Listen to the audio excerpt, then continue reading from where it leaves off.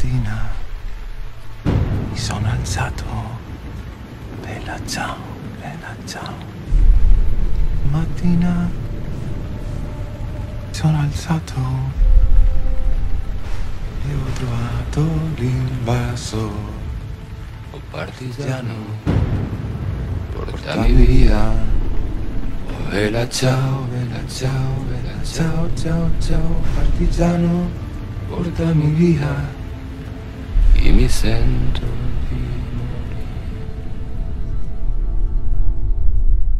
Bienvenidos y bienvenidas al Trotamundos Político de esta semana, en el cual vamos a hablar, como lo habrán entendido, de la historia mínima de un himno de lucha universal, de esta canción que se llama Bella Ciao, de origen italiano.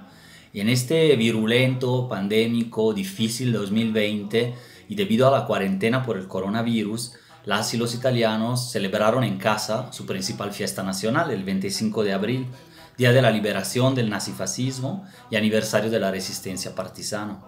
Fue una jornada de memoria 75 años atrás en el tiempo sobre el fin de una dictadura y la lucha de los combatientes antifascistas.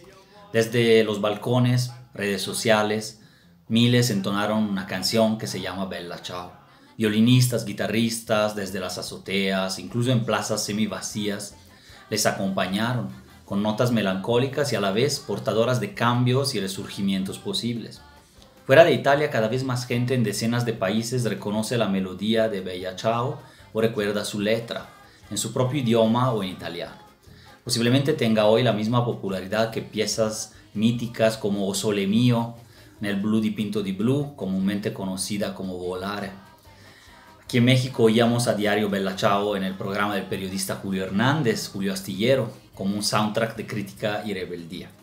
La canción tiene una larga tradición internacionalista y en la última década ha sido el himno de innumerables protestas y movimientos.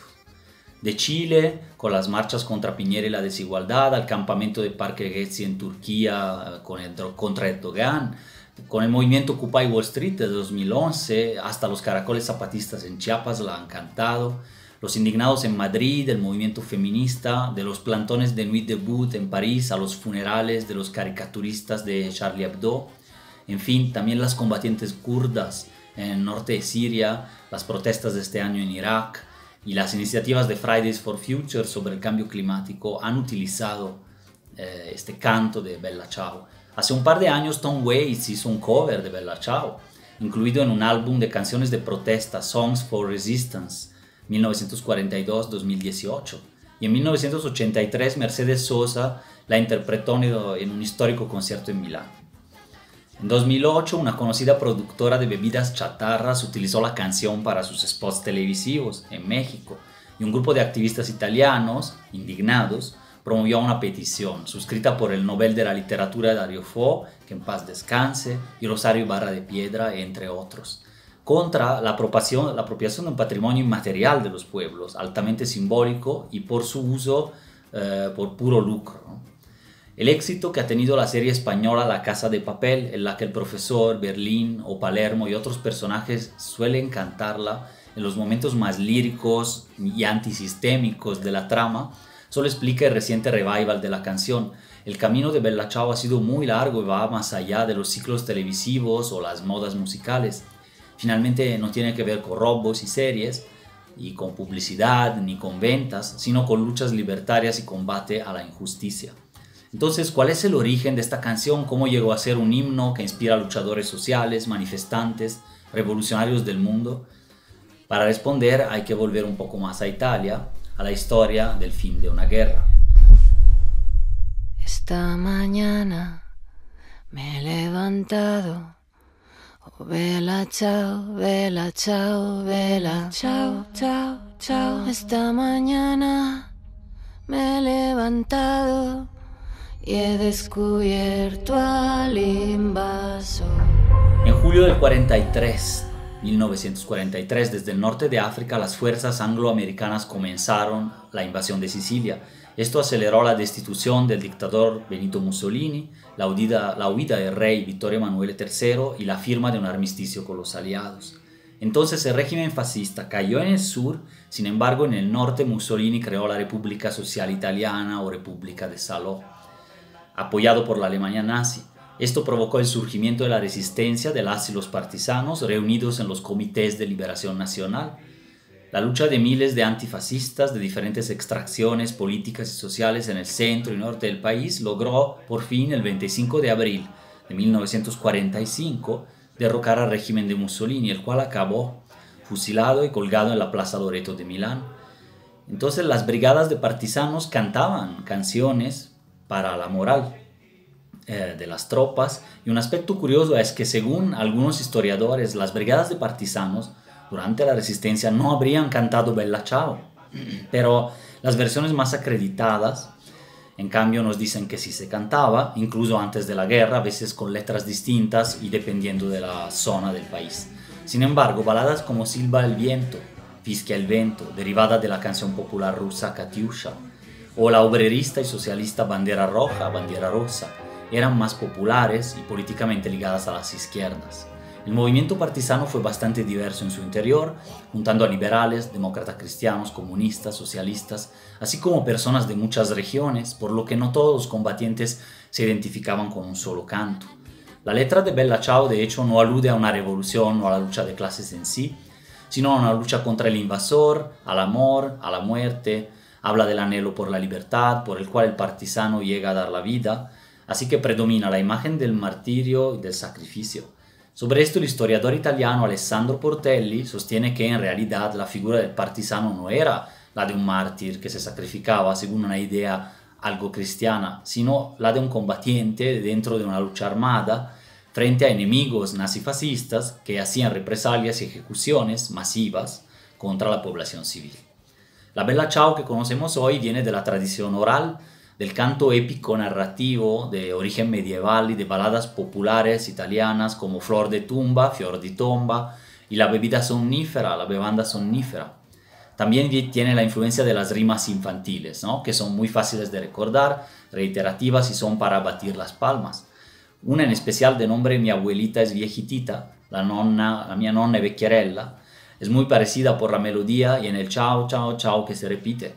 Después de la guerra, Bella Ciao fue ganando fama, primeramente a nivel internacional, ¿no? gracias a la Federación Mundial de la Juventud Democrática, una organización antifascista y comunista que desde su primer festival en Praga en 47, 1947, cada dos años iba reuniendo a centenares de militantes de Europa Oriental. Ahí escuchaban y traducían esta canción que los partisanos italianos entonaban en cada edición. En el oeste se difundió un poco más tarde por los migrantes italianos, tuvo su difusión en Francia en la versión del cantautor italo-francés Yves Montand y una traducción al español por Adolfo Celdrán, cuya adaptación fue censurada por el franquismo. En Italia, después de la reconstrucción postbélica, la dinámica política apostaba a cierto ecumenismo entre los partidos, a, gobiernos de unidad nacional. Así, a principios de los 60, Bella Ciao fue elegida como emblema de la resistencia y de la reconciliación entre quienes habían combatido al fascismo. Pronto llegaron las grabaciones y los discos, la canción entró en la cartelera de festivales musicales en Milán y en Spoleto, así como en las marchas estudiantiles del 68 del movimiento estudiantil, y cantautores comprometidos políticamente como Giorgio Gaber, Fabrizio de André, también la adoptaron en su repertorio. El 14 de mayo de 1984, en Roma, se realiza un inmenso cortejo fúnebre. Es el día del funeral de Enrico Berlinguer, histórico líder del Partido Comunista Italiano. Bella Ciao resuena para su despedida, reforzando esta asociación de la canción con la izquierda y el Partido Comunista en el país. Tras la caída del muro de Berlín en 1989 y la transformación de los partidos comunistas europeos, la suerte de este canto se ha enfrentado con un campo intricado de disputa política en Italia, sobre todo, e incluso de instrumentalizaciones. Por un lado están quienes la ven como símbolo apartidista del antifascismo y la lucha social, como viene siendo un poco en el exterior. Y por otro están quienes, en cambio, desde posiciones eh, revisionistas sobre el alcance de la misma resistencia partisana, la ven como bandera solo de un sector, de la izquierda, y preferirían desterrarla de la historia y cantar tan solo el himno nacional.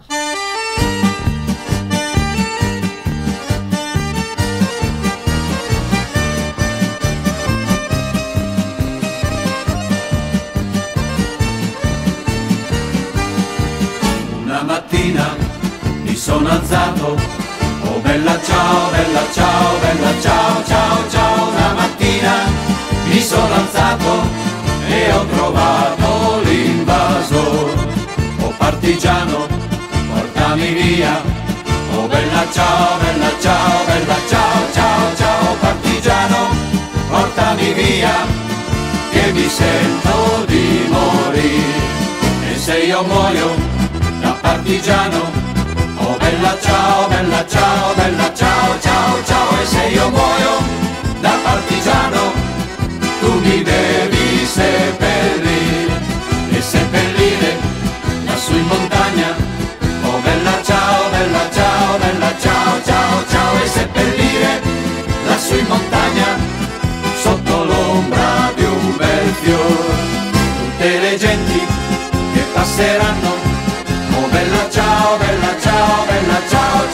ciao, Tutte le genti che passeranno ti diranno che bel fiore E questo è il fiore del partigiano.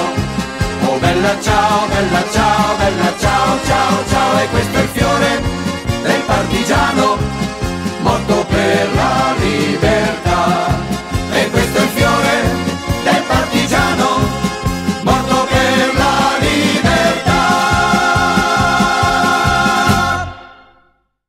Lejos de Italia, con el paso del tiempo, por suerte, Bella Ciao ha tomado vida propia. Ha sido traducida a más de 40 idiomas, siendo una canción de rebeldía ante los agravios y la opresión. Se ha vuelto un himno internacional que vincula idealmente a las mujeres y los hombres que en cada rincón de la tierra combaten por un mundo más libre, justo y digno para todos y todas. Con esto me despido del Trotamundos Político y nos vemos a la próxima. Muchas gracias.